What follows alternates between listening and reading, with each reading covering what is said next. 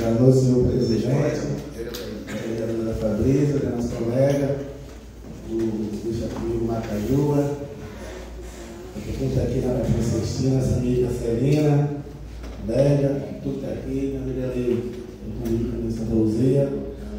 É, senhor presidente, mais uma vez, eu quero aqui relembrar que eu semana passada sobre o esgoto, que o secretário de obras fica responsável colocou um cano dentro da caixa.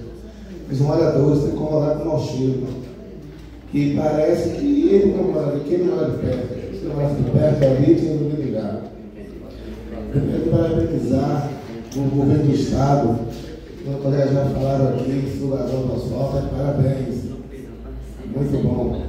Primeiro, eu vou aqui do nosso colega da posição é, sobre o X, né? Já tem quase dois anos para fazer uma sala. Isso aqui já está pronta essa sala. Já está pronta e o raio-x não funciona. Então essa mesma pessoa pediu uma ajuda para um que ir para Rio Barbosa, porque aqui tem, mas não funciona.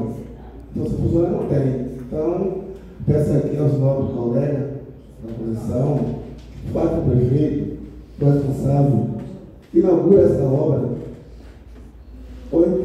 fazer o quê? Entrar só por fachada, não chutar dentro. Mas funciona. Para mais uma boa noite.